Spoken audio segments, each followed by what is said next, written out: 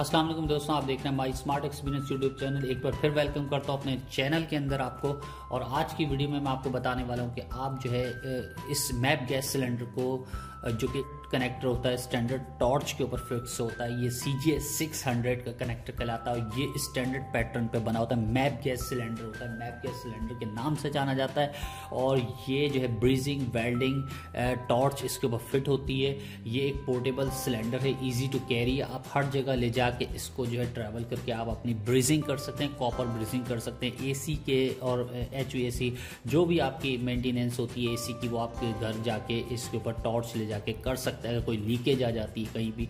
तो ये उस सिलेंडर पे तो आज इस सिलेंडर पे जो है रिफ़िल हम करेंगे, इस सिलेंडर को रिफ़िल किस तरीके से कर सकते क्योंकि ये सिलेंडर जब खाली हो जाता है तो रिफ़िल करने का सबसे मेन प्रॉब्लम इसका आता है। मेन प्रॉब्लम क्या है कि रिफ़िल आप एलपीजी की शॉप से भी करा सकते हैं और घर में भी आप खुद से कर सकते हैं। अगर आपके पास आठ के या फाइव के या टेन के या ढाई के का सिलेंडर है तो उससे आप जो है कर सकते हैं ईजिली प्रीवियस वीडियो में अगर आपने हमारी नहीं देखी तो प्रीवियस वीडियो में मैंने ज़िक्र किया था कि इस कनेक्टर के हवाले से जो कि आप येलो कलर के सिलेंडर इससे भर सकते थे वो कनेक्टर हमने ये यूज़ किया था आ, ये यूज़ किया था वो कनेक्टर हमने।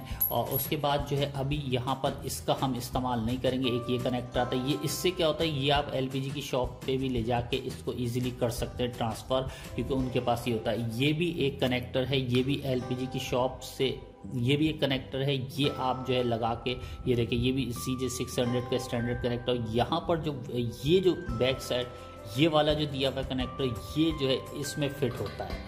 ठीक है, अगर इस टाइप का आपके पास, आपके घर में सिलेंडर का वॉल है तो इस टाइप का इस तरीके से यहाँ पे ये फिक्स हो जाएगा। ठीक है, और इसके अंदर फिर सिलेंडर लगेगा। ठीक है और ये घूमता है एंटी क्लॉकवाइज ठीक है? ये सिलेंडर आपको एलपीजी की शॉप से ये वॉल वाले आपको काफ़ी मिलेंगे और वहाँ भी आप ये कनेक्टर ले जाके इसको भरवा सकते हैं। अगर उनके सिलेंडर में अगर वॉल नहीं लगा होगा तो वो उलट के डायरेक्ट इसको भर लेंगे। लेकिन आपके अगर घर में ये मौजूद है, ये वाला सिलेंडर तो आप इजीली इसको इस कनेक्टर के थ्रू रिफिल कर सकते हैं। आज हम इस कनेक्टर के ऊपर ही बात करेंगे, क्योंकि पाइप के साथ अगर आप रिफिल करते हैं तो पाइप के साथ आपको एयर भी निकालनी पड़ती है।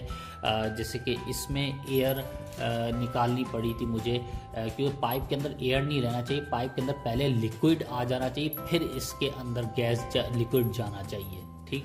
तो चलिए तो रिफिल करते हैं। सबसे पहले हम देख लेते हैं कि इसका जो है वेट कितना है सिलेंडर इस वक्त ये बिल्कुल से खाली है ठीक है? इसका वेट हम मेजर करते हैं तो इस 468 ग्राम 468 ग्राम ठीक है?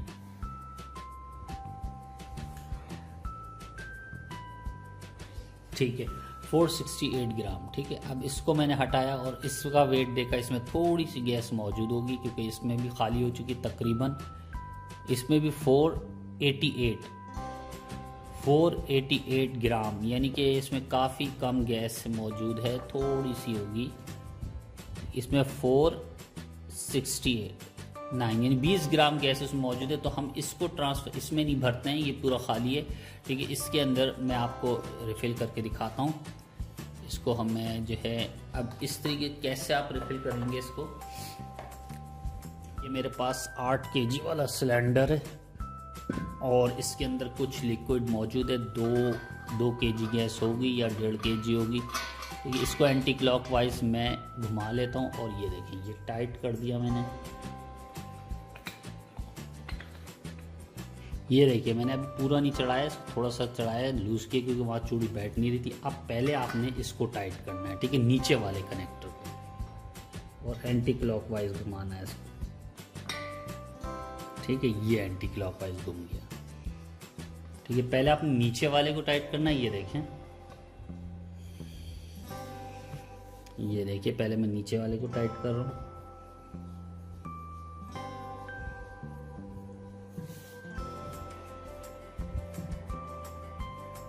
ठीक है, अब आपने इसको पकड़ के, क्योंकि ये घूमता है, सिलेंडर में जो लगता है, सिलेंडर में एंटी क्लॉकवाइज घूमता है। और ये आप घुमाएँगे तो ये घूमेगा क्लॉकवाइज ठीक है? तो आपने यहाँ किसी तरीके से ग्रिफ्ट करनी होगी, पाने से या किसी चीज़ से।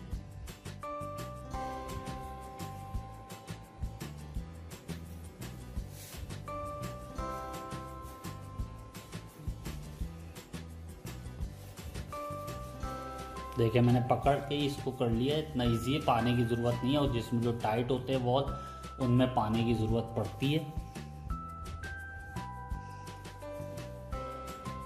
ठीक है, ये मैंने कर लिया टाइट देखिए, ये मैं फिट कर दिया। अब मैं इसको क्या करूँगा?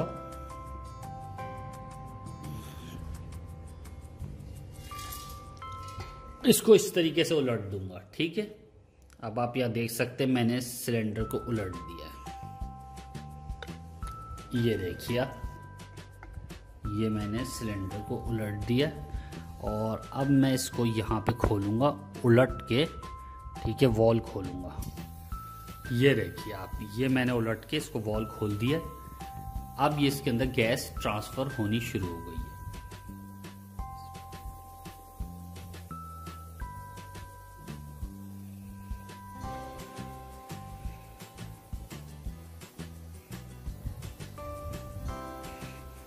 ये देखिए, अभी तक जा रही है इसके अंदर गैस, और ये ठंडा भी हो रहा है सिलेंडर।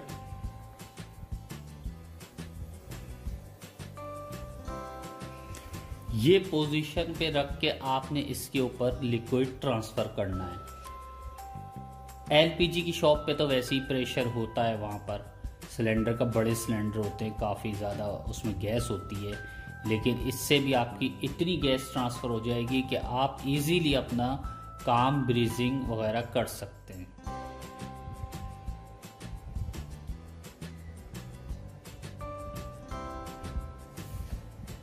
दोस्तों अभी तक जा रही है और सिलेंडर जो है ठंडा हो गया है।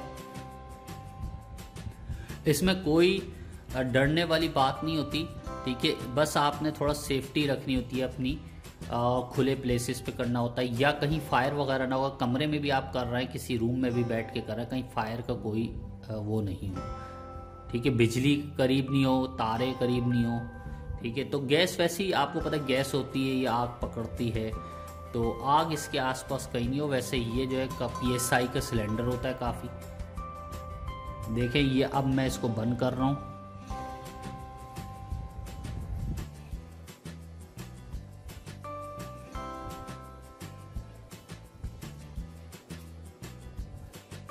ये मैंने इसको बंद कर दिया अब मैं इसको जो है निकालूँगा किस तरह? अब आप देखिएगा। पहले मैं इसको करता हूँ। सीधा। ठीक है, ये मैंने कर लिया सीधा। क्योंकि इसके अंदर जा चुकी अब लिक्विड अब सबसे पहले मैं क्या करूँगा?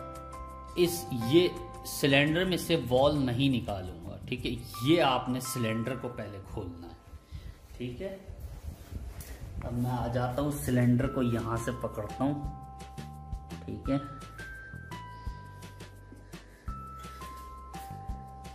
ये देखिए।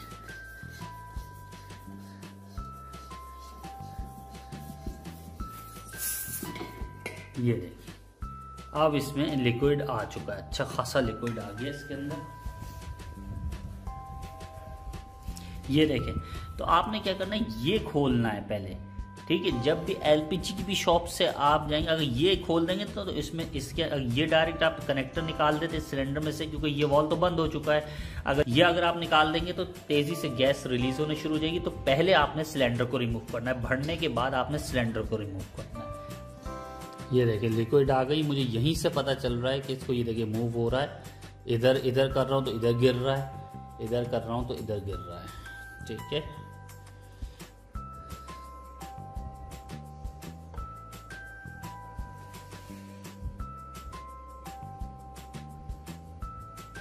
देखिए six twenty five gram.